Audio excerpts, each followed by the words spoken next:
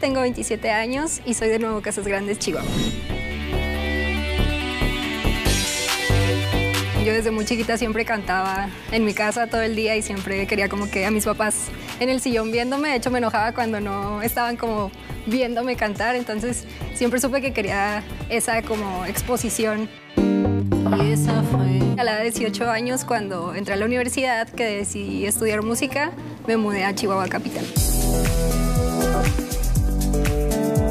Sí era un poco como su miedo, ¿no? De, de que te vas a otro lugar, estés sola, pues tu edad, todo eso. Pero tuve la suerte que mi familia siempre me apoyó a estudiar música, que creo que es algo que no siempre pasa. Eso lo hizo un poco más fácil. Ahorita estoy en Ciudad de México actualmente. Me ha sido difícil estar aquí en la Ciudad de México porque dejé muchas personas eh, y muchas cosas, pero pues creo que es, es importante siempre ser valiente y seguir tus sueños.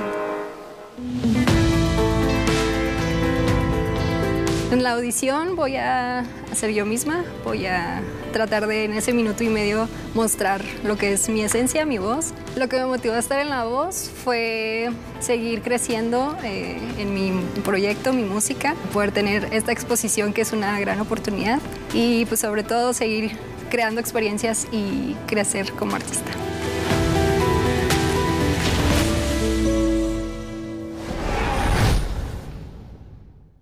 Estamos en la última semana. Solo quedan seis famosos en los últimos tres episodios. Desde el principio me querían sacar.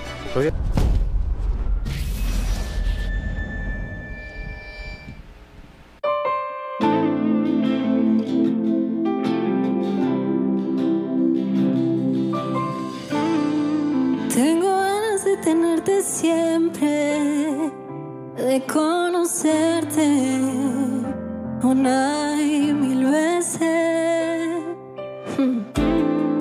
Tengo ganas que tú se entere si existe suerte, la mía es quererte.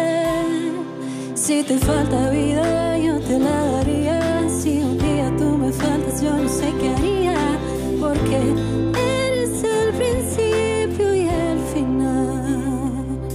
Eres tú.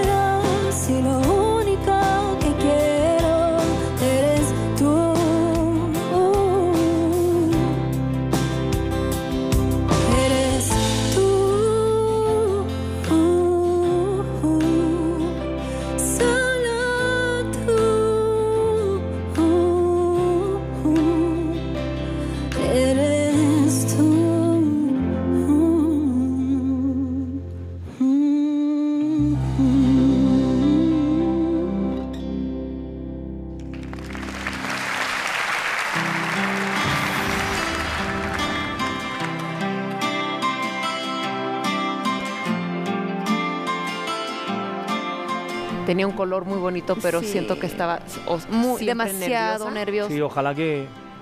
También este tipo de cosas también te hacen eh, prepararte mejor para por si decides volver el año que Es viene. que el problema es que no nada más te tienes que preparar para cantar bien, te tienes que preparar para controlar el nervio también, Claro. ¿no?